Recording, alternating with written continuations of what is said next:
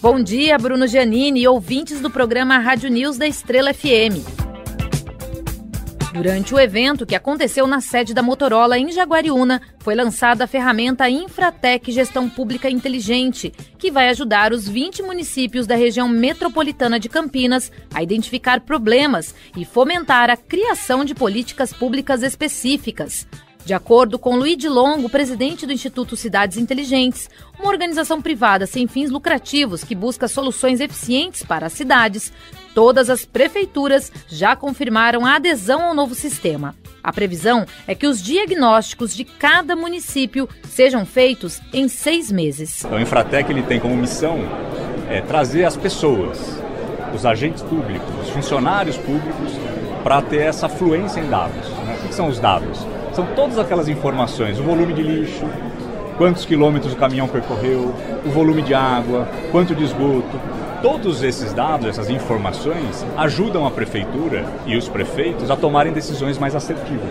Cada cidade vai precisar de treinamento para incluir os dados na plataforma, o que será feito por meio de um representante indicado para participar de um curso de capacitação. A medida foi desenvolvida a pedido do Conselho de Desenvolvimento da Região Metropolitana de Campinas. Para o presidente do Conselho e prefeito de Jaguariúna, Gustavo Reis, a ideia é que a plataforma ajude as prefeituras a solucionarem suas prioridades, aproveitando as facilidades oferecidas pela tecnologia 5G para melhorar a vida da população. Sem dúvida, a região metropolitana de Campinas é uma das principais que nós temos no Brasil, onde reúnem as maiores empresas de tecnologia.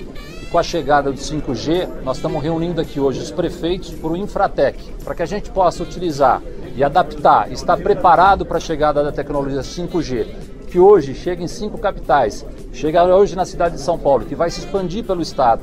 E nós temos que estar, os prefeitos, absolutamente conectados com as novas tecnologias para que a gente possa utilizar do 5G para a telemedicina, para os carros inteligentes, dos semáforos inteligentes, para que a gente possa utilizar isso no agronegócio, e assim utilizar toda a tecnologia necessária para melhorar a vida do cidadão. O prefeito enfatizou a importância da plataforma em cidades inteligentes como Jaguariúna, que já possuem aplicativos e serviços de informação voltados a atender às demandas sociais da cidade. Jaguariúna foi reconhecida pela Connect Smart Cities, a cidade mais inteligente conectada do Brasil no ranking.